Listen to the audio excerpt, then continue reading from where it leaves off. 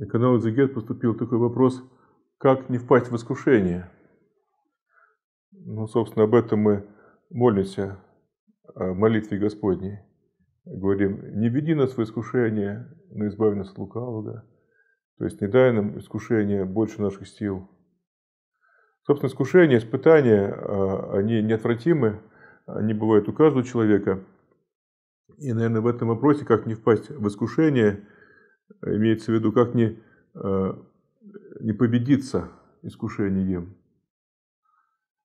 а, как не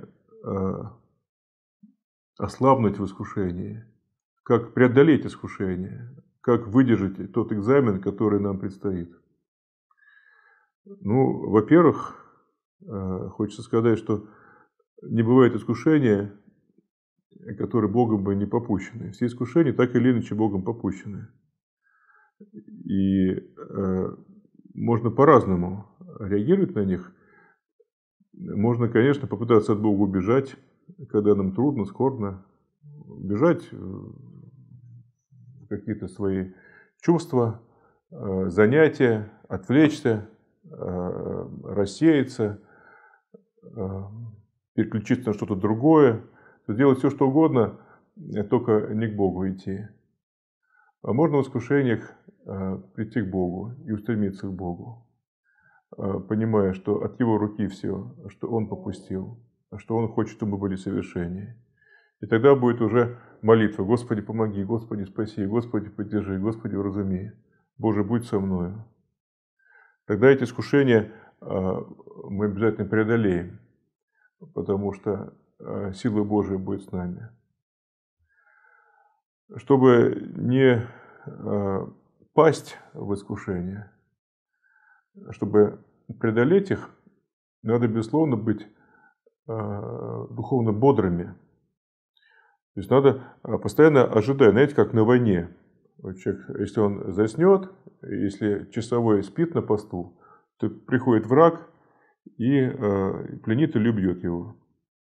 Так и в искушениях. Если мы э, не будем бодрствовать в духовной жизни, если мы не будем ничего делать, если мы не будем с Богом, то э, приходит сила вражия и завладевает нами – и бывает так, что э, когда человек бодрый, духовно бодрый, то враг все равно не оставляет его, а ходит вокруг и ищет, э, как бы э, добраться, как бы спровоцировать ту или иную страсть, как бы побольнее уколоть, какую стрелу пустить бы, как бы смутить, какой бы грех человека ввести. Когда человек чуть-чуть ослабляет э, э, свою душу, когда бодрости меньше, то враг ближе. Когда еще меньше, враг еще ближе. Когда человек совсем расслабляется, уже э, бесы набрасываются на такого человека и овладевают им. И человек становится таким одержимым своими страстями, грехами, впадает в грех, уже не понимает, что с ним происходит и так далее. Поэтому так важно не терять а, духовного напряжения. Именно в духовном напряжении душа себя чувствует бодрой. Настроение духовное, радостное. А, ты понимаешь, кто ты и что ты, для чего ты живешь, как тебе жить дальше, зная, что ты не один, что ты со Христом. И тогда а, искушение обязательно, как трудный экзамен, будет преодолено.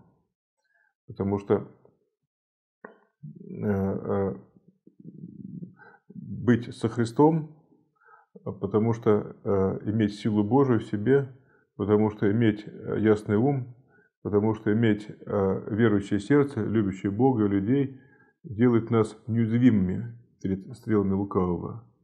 И мы все преодолеем, и мы все перенесем, и победа будет за нами. Внеси свой вклад, оцени. Подпишись и поделись этим видео.